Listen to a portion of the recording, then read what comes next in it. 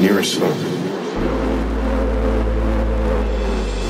NASA's Voyager spacecraft moves at more than 56,000 kilometers an hour. Even at that astonishing speed, it would take Voyager more than 80,000 years to reach the nearest star. 80,000 years.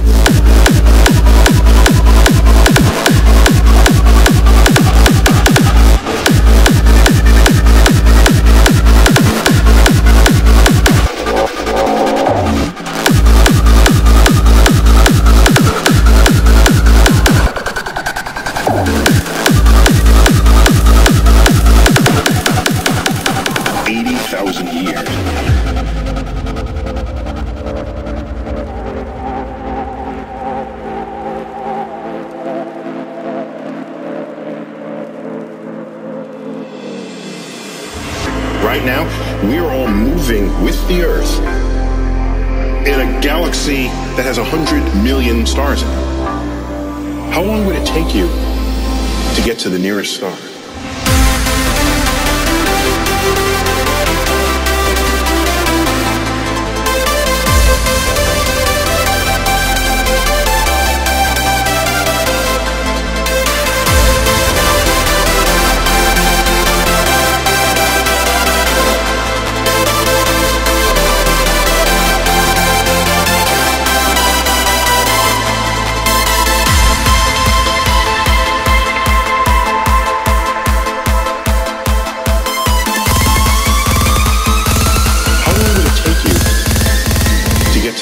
To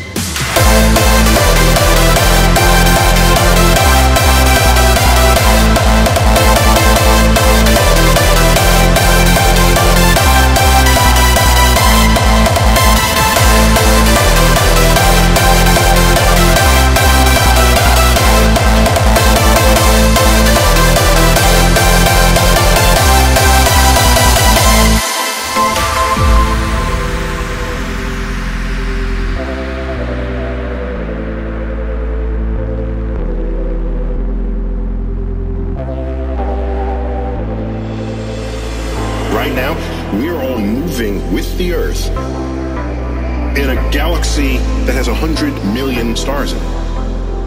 How long would it take you to get to the nearest star?